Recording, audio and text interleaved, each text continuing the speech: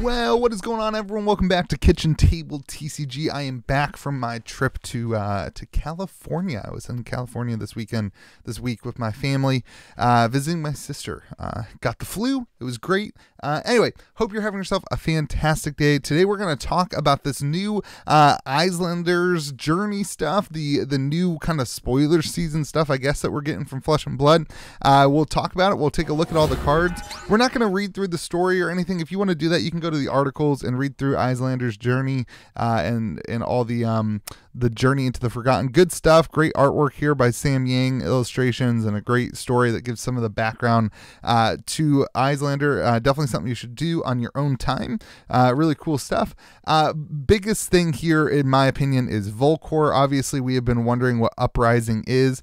Uh, I have said in the past, I think we were either going to be going to Volcor or the Pits. When I heard Uprising, I said that I thought it was going to be the Pits, right? Like we're we're moving up from the pits. It's uprising. Um, anyway, it looks like we're going to Volcor, which is going to be wizards. Uh, you're a wizard, Harry. So, uh, yeah, cool. Cool. Looks like we're going to Volcor.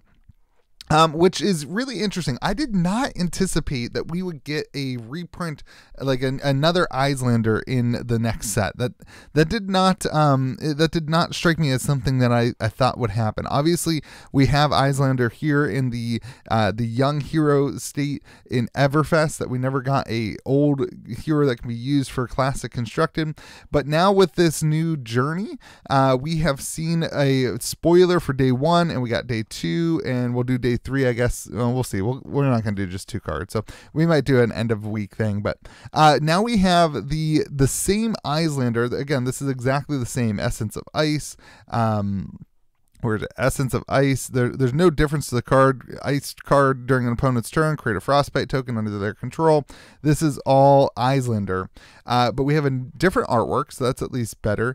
Uh, but it's printed as a token. So Majestic from Everfest reprinted as a token in the next set. That surprised me. I, I, it doesn't really matter. The Iyslander Majestic wasn't really worth anything anyway, but it just surprised me. It was really um, that was a I never anticipated that we would get Iyslander in this next set, but here we are. Uh, but then we got it as this amazing artwork. Oh my gosh, that artwork is so cool. This bigger, bigger. That artwork's so cool. Look at that. It just looks so cold. Uh, Iyslander Stormbind, and so this is the um, 36 life version of the hero that can be used, obviously for classic constructed purposes. So, um, really, really cool awesome to see that now we have those in both. And look at this this bear. I love the bear in here. It's like I'm cold. Stop making it so cold. Stop it. But here's some other cards that we got, and, and here's what I want to talk. We're going to talk about these cards, and I'm not like a wizard, wizard expert. We're just going to talk about them for a little bit uh, because they're new cards in the next set, and that's super exciting. And then I want to talk about Volcor and this In Flames and, and some uprising things. I'm going to give some predictions of what I think is going to happen on the 26th. It'll be kind of interesting. So um, first thing first, we have Elemental. Oh, we'll get there. Let's talk about the cards. Let's talk about Channel Bleak.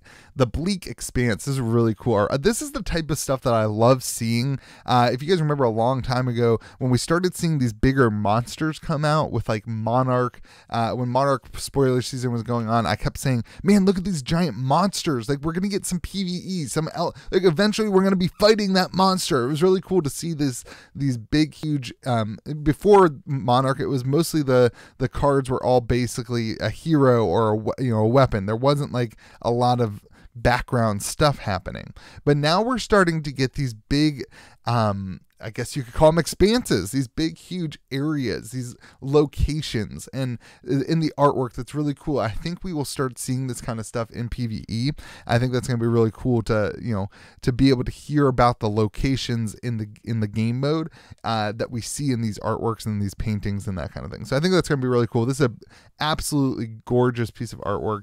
This is definitely something I think will be on a playmat, which will be really cool. Um, really cool, like mountain s thing. Looks like that could be like a dragon if it woke up. I don't know. Anyway, uh, Channel the Bleak Expanse, three pitch, blue card. It's a majestic. Uh, cost one. It has go again. It's an ice action. It's an aura. Uh, heroes can't reveal card search decks or draw cards from effect. This is a anti Runeblade. Uh, like this is like completely going to shut down a lot of that kind of thing.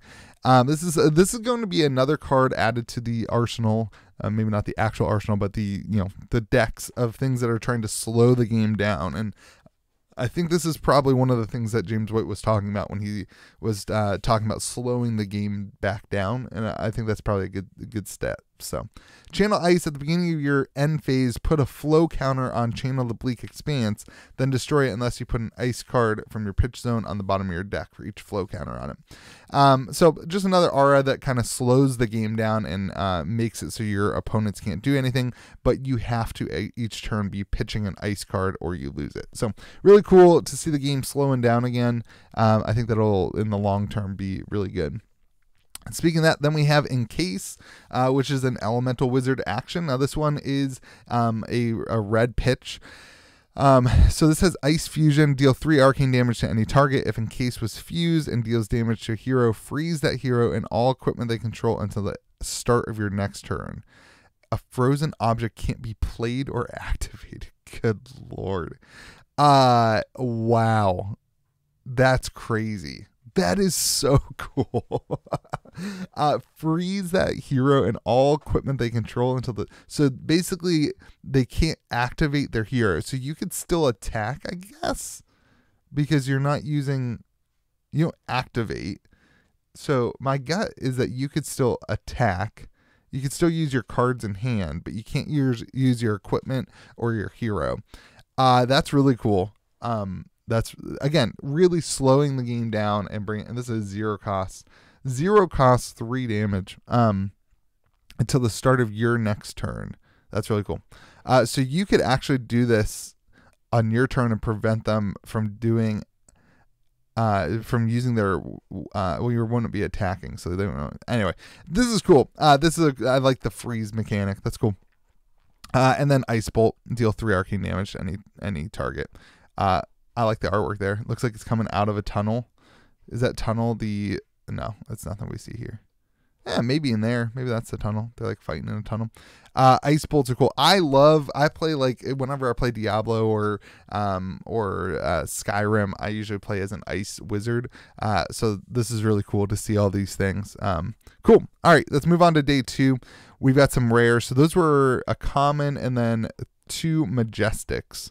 Here we go. Day two, Ice Eternal, Iyslander specialization. Oh my gosh, she looks freaking crazy here. What is she doing? She's losing it. Uh, you only have Ice Eternal in your deck of your heroes. Iyslander, Ice Fusion. All right, create X Frostbite tokens under target hero's control. Then, if Ice Eternal was fused, deal arcane damage equal to the number of Frostbites they control. Wow, that's huge. So double is X. So you got to generate. So you pitch six to do three, or you pitch nine maybe. I guess you could pitch you could pitch nine to do four. Yeah, I mean that'd be good. Four damage and they get four frostbites. Again, really slowing the game down. That's kind of the story of Iyslander here. Really slowing the game down. This would be interesting to see in CC. Um, deal one arcane damage. Uh, this is Icebind, zero cost, three pitch. Uh, deal one arcane damage to any target. If Icebind was fused and deals damage to a hero, freeze a card that was in their arsenal. Oh, that's sweet. So you can't use the card in your arsenal. That's cool. Um, but uh, so this is a blue pitch, so we'll probably get a yellow and a red pitch of this that does two and one or two and three arcane damage, and then for this blue one, for this rare, oh, this is specialization, so we won't. That's cool. Uh, all in all, really cool cards. I think this is going to be really good at slowing the game down. I think that's the the story of this story uh, slowing the game down is definitely a good thing right now. I think that's a, a good time for that as the meta is kind of evolving. All right, but now let's move on to this. I want to make a couple predictions here. Uh, so we have In Flames, and one of the things I speculated on in Tales of Aria was that we would have a, you know, a, one of the elements would be fire. I really thought we would see that fourth element pop in. I was really confused at why that fourth element didn't pop in. And based on the borders changing here, on like even like Iyslander, the borders changing, uh, I this is going to represent the essence of ice, I guess, because I don't think this is going to be the Vol Volcor borders uh, I don't know. Maybe I'm maybe I'm way way off on this, but my point here is going to be that we're going to get um continue to see essence of, and we're going to get either ice and uh, and uh, was it wind or was fire? what was the other element? We're gonna get uh, the other. We're gonna get two of the elements from uh, from um, from Tales of Aria, and then the addition of fire. So we're gonna have a three element set that's gonna be missing one of the elements. I tend to think that the element we're gonna miss is Earth because Earth wizards are kind of just like a they're kind of boring. Nobody really likes Earth Wizards. I don't know. Maybe I'm completely wrong, but Earth Wizards are a little bit boring. Um, and so I don't know. Oh, Lightning was the other one, right? So I think we get like Lightning. Lightning Wizard makes sense. I don't know how many wizards we're gonna get though. I don't think this is gonna be just like a whole wizard set. It'll be really super. Oh man, look at that enemy there. I didn't even see that. It's so cool. But I think we're definitely gonna get fire. You're gonna see the the you're gonna see some sort of fire fusion or something like that. Um, that that'll definitely represent the fire that was missing uh, in the in the Tales of Aria set and that that makes a lot of sense with Volcor. Um, you know, as a thing. You know, this if we are truly in Volcor, there is a, a world here where it's like all wizards. Um, uh, the the lore in Volcor is is pretty heavy focus on wizards. So that would be a completely crazy element. Now we've already I doubt that actually happens. Maybe we maybe there's some other things that are thrown in. You do have kind of a Japanese style thing going on, so I think um you might see some sort of uh, ninja ninja-esque stuff. Uh I would love to see like a lightning ninja. I think that could be really cool. Um I, I think you'll see ninja uh, it's gonna be super interesting over the next couple days. I, however, they're doing this spo- this new way of doing spoiler season is really cool. I like it, um, and it'll be really interesting to see how much they continue to give us. I, I mean, release day is still uh, pretty far out, right? What's uh, product releases? Sorry, I'm completely out. We got history pack coming with the six. Uprising is June 24th, so April, May. So we got two months. We're two months away right now. So pretty early to start seeing the uh, the spoiler seasons for Flesh and Blood. This is super early for them. So very interesting. Uh, it'll be really cool to see what happens as we go. Uh, we will have pre-orders and everything up for that. I'm working on putting together a bundle for Uprising. Uh, that will be pretty cool and have a bunch of stuff. Uh, they still have Everfest on the website.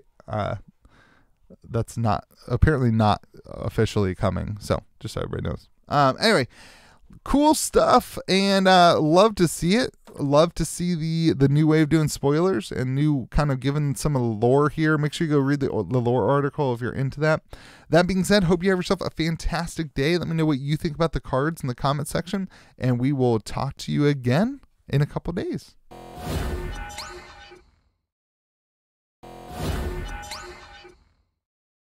Remember to be kind to the people around you.